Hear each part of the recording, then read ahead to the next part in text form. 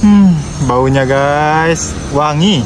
Asam kuin ini guys, terkenal dengan baunya guys. Bau harumnya itu wangi. Hmm, semerbak seperti cintaku padamu. Kiu kiu. Ini kita buka ya. Ini. Ah, wangi guys. Hmm, hmm, hmm, hmm. Nih.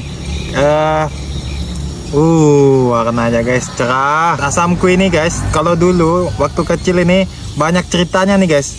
Kalau udah angin ribut itu itu udah pasti di bawah pokok asamku ini gini guys, jatuhnya guys. Dulu kan suka jatuh asamku ini nih guys, subuh-subuh kadang. Habis sholat subuh tuh kan udah pasti udah bekasoh tuh. Biar kita apa ndak kededuhan tuannya. Ini kita coba ya guys. Uh, sedap nih. Hmm.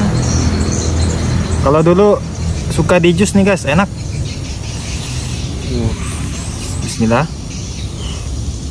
Hmm, hmm, hmm.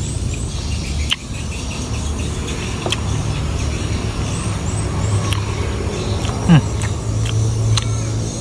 Rasanya tuh guys, manis, wangi. Ini udah asamnya enggak ini, enggak asam lagi guys. Soalnya ini udah diperam kalau baru jatuh itu dia eh, nggak uh, enak guys. Masih ada asam-asamnya. Kalau ini uh apalagi nih. Beraya air nih hmm. Hmm, hmm, hmm. enaknya dianggus guys. Tapi kita biar estetik aja makanya Pak orang bilang Pak Johor Raja Nude kata dia. Sungguh terlalu. Wah. Hmm, hmm, hmm.